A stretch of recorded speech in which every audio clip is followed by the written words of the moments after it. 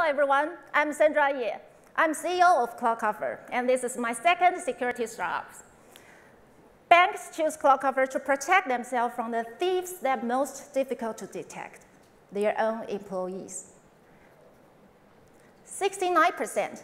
In last year, 69% of all enterprises suffered breach by their own employees, contractors, and other insiders. And these internal attacks often don't get media attention because it is quite embarrassing. But this breach cost enterprise $40 billion in just last year, and traditional cybersecurity is far too limited. But we prevent this.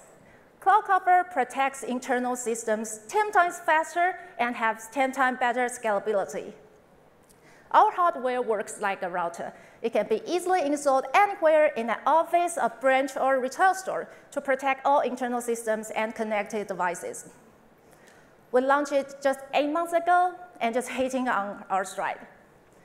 In last year, we closed revenue $300,000 with 68% of gross margin.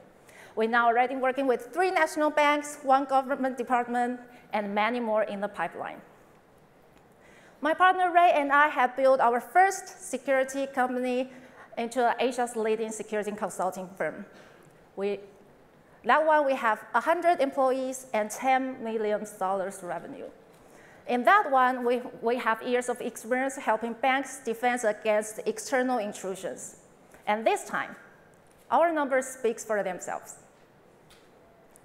$400,000 revenue, 68% of gross margin, and four main customers in just eight months.